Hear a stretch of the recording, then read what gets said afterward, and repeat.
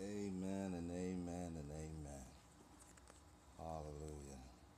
As we open up the Word of God, you can turn and take the Word, take your Bible and turn to the Acts of the Apostles, chapter 2, verse 1, verse 2.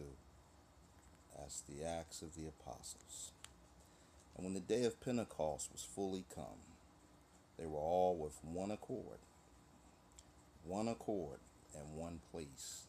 And suddenly there came a sound from heaven as of a rushing mighty wind, and it filled all the house where they were sitting. And there appeared unto them cloven tongues like as of fire, and it sat upon each of them.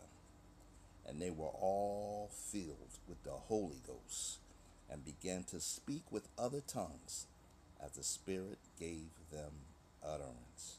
Amen. Amen.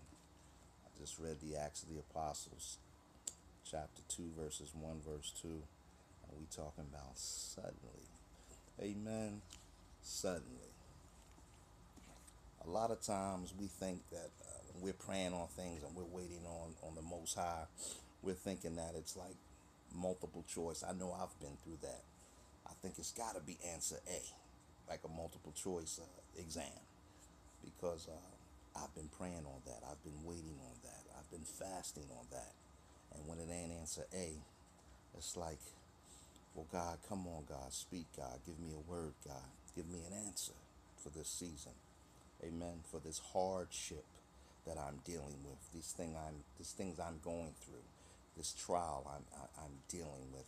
Amen. In my life, and some of you may know and may be going through that. So you start praying, you say, well, it's got to be answer B because we're thinking in our prayer life sometimes we put the Most High in a box. And so we want these little multiple choice answers to come about. So when it ain't answer B, we say, well, it's got to be C, both A and B. and that's the answer. Answer C, both A and B. And when it ain't that, we, some of us become upset with the Messiah. Amen. We become upset because we start wondering why is it why hasn't he answered prayer yet? You know, you done gave your last tithe, you done fasted all you can fast, prayed all you can pray. You're at the hem of his garment and you're wondering why and how long. Like King David said, how long? So you said if it ain't answer A, B, or C, it's got to be D. And you start getting excited because you're waiting on D. And next thing you know, it ain't that. Touch your neighbor, say it ain't that. Amen. And a lot of times, what I've experienced in my life is that the move of the Ruach, the move of the Holy Ghost, comes in answer E, letter E, none of the above. Because, see, we've been waiting for that answer to come in, a, in, in, in the mailbox, in an email, in a text, uh, in, in, Instagramming, and, and direct messaging, and somewhere on the Facebook. Somebody's going to say something. Where is it coming from? From the bank, here, there. Where is it coming from? Hallelujah. But a lot of times the move of God and the answer of God is beyond our thoughts and our minds because his ways are not our ways and his thoughts are not our thoughts. Amen. And he can do above and abundantly all we can ask or think. So sometimes it's coming suddenly as a, a rushing mighty wind. And then it fills the house. And you start feeling it in your temple. Hallelujah. You start feeling like the answer is coming.